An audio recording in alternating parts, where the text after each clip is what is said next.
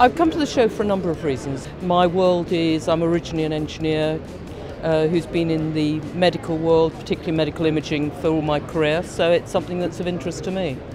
I wasn't here last year, so this is my first experience of this.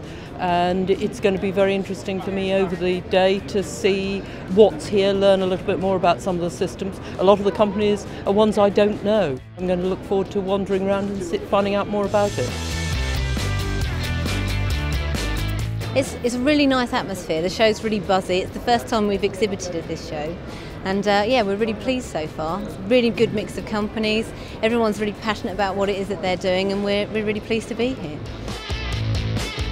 Lots of mix of people from different stages in their medical development process.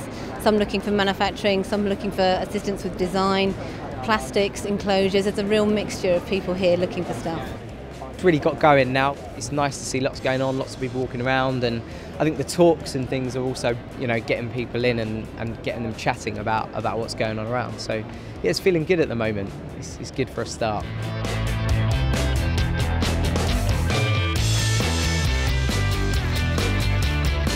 It's uh, a good set of exhibitors.